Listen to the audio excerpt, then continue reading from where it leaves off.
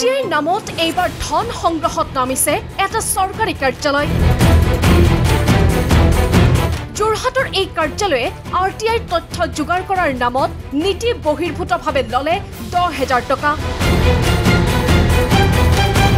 যোৱা পাঁচ মে দুহেজাৰ একৈছত যোৰহাটৰ লোক নিৰ্মাণ বিভাগৰ যান্ত্ৰিক সংমণ্ডলত তথ্য বিচাৰি কৰা হৈছিল আবেদন। বিগত দহ বছৰত চৰকাৰী ৰোলাৰত ভাড়াৰ নামত কিমান টকাৰ ৰাজহ সংগ্ৰহ কৰা হৈছিল সেইসমূহ তথ্য বিচাৰি কৰা হৈছিল আবেদন। পিছে প্ৰায় সাতচল্লিছ দিনৰ পিছত জেৰক্স আৰু ডি টি পিৰ নামত দহ হেজাৰ টকা বিচাৰি পত্ৰ প্ৰেৰণ কৰিছিল বিভাগটোৱে। পিছে পৰৱৰ্তী সময়ত তথ্য যোগাৰ কৰাৰ বাবদহে টকা বিচৰাৰ কথা কৈছিল এই বিভাগটোৱে যিটো নীতি বহিৰ্ভূত। কাৰণ তথ্য জনাৰ অধিকাৰ আইনৰ মতে কেৱল জেৰক্স ডি টি পিৰ বাবেহে টকা ল'ব পাৰে চৰকাৰী বিভাগে। তথ্য জনাৰ অধিকাৰ আইন দুহেজাৰ পাঁচৰ অধীনত তাত উল্লেখ আছে যে আবেদনকাৰীয়ে যেতিয়া তথ্য বিচাৰি যিকোনো তথ্য বিচাৰি আবেদন কৰিও আবেদনকাৰী দহ টকাৰ এটা আই পি অ' বা নগদ দহ টকা জমা দিব লাগে। কিন্তু তেওঁ যদি দৰিদ্ৰ সীমাৰেখাৰ হয় তেতিয়াহ'লে বি পি এলৰ কাৰ্ডখন জেৰেক্স কৰি পেলাই দিলে তেতিয়া এক টকাও তেওঁ দিব নালাগে। আৰু দ্বিতীয় কথা হ'ল তেওঁলোকে জেৰেক্সৰ বাবদ প্ৰতিখন পেপাৰত এ ফ'ৰ চাইজ আৰু এ থ্ৰী চাইজৰ এখন পেপাৰত দুটকাকৈ ল'ব পাৰে। এতিয়া তেওঁলোকৰ কথাটো হ'ল তেওঁলোকে ডকুমেণ্টছ প্ৰিপেৰেশ্যন কৰাই নাই। ডকুমেণ্টছ প্ৰিপেৰেশ্যন নকৰাকৈ তেওঁলোকে কেনেকৈ গম পালে তেওঁলোকৰ দহ হাজাৰ টকা হ'ব?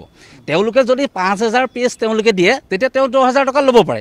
দহ হাজাৰ টকাত কি যুক্তিত লৈছে? এই- সম্পৰ্কত যদি আপুনি বিচাৰে তেতিয়াহ'লে আইনৰ কাষ চাপিব পাৰে। আইনে ইয়াৰ উচিত শাস্তি তেওঁলোকক প্ৰদান কৰিব। বিভাগটোৰ নিৰ্দেশ মৰ্মে বুধবাৰে জমা দিয়া হ'ল দহ হাজাৰ টকা। এয়া বিভাগে টকা লোৱাৰ ৰিচিপ্ট। পিছে কিছু সময়ৰ পিছতে বিভাগটোৰ বিষয়া কৰ্মচাৰীয়ে ফোন কৰি মাতি আনি কাঢ়ি লয় অৰিজিনেল ৰিচিপ্ট। কাৰণ সংবাদ মাধ্যমৰ লোক বুলি তেতিয়াহে গম পাইছিল বিভাগটোৱে।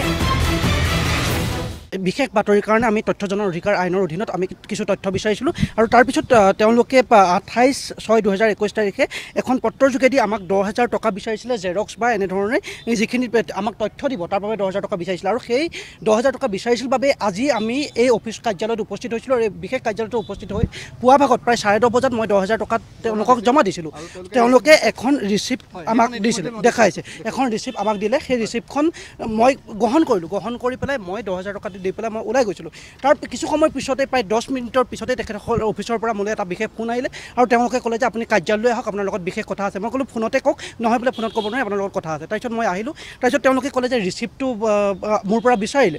তাৰপিছত মই ৰিচিপ্টটো দি দিয়াৰ পিছত তেওঁলোকে কৈছে যে পইচাটো আমি ল'ব নোৱাৰোঁ কাৰণ যিহেতু বহু সময় হ'ল হৈ গ'ল আপোনালোকে পইচা দিয়া নাছিলে। কিন্তু এটা প্ৰশ্ন হয় কষ্টমন কাকতি তেওঁলোকক যেতিয়া আমি সোধোঁ যে আপোনালোকে ইমান দিনে এঘাৰ পাঁচ দুহেজাৰ একৈছ তাৰিখে তথ্য জনাৰ অধিকাৰ আইনৰ অধীনত আমি যিখন আবেদন কৰিছিলোঁ তেওঁলোকে ইমান দিনে কি কৰিছিলোঁ?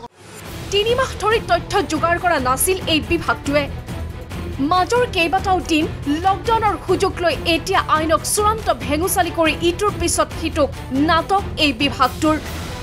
প্ৰশ্ন হয় ৰোলাৰৰ ভাড়া চৰকাৰক জমা নিদিয়ে নেকি এই বিভাগটোৰ বৰমূৰীয়াই? বছৰ বছৰ ধৰি ভাড়াৰ নামত টকা লুটি পুটি খাই এতিয়া তথ্য দিব পৰা নাই এই বিভাগটোৱে। ভিডিঅ' জাৰ্নেলিষ্ট সৌৰভৰ সৈতে যোৰহাটৰ পৰা ঋতুৰাজ বৰা আৰু কৌস্তপনি কাকতিৰ report N D twenty four.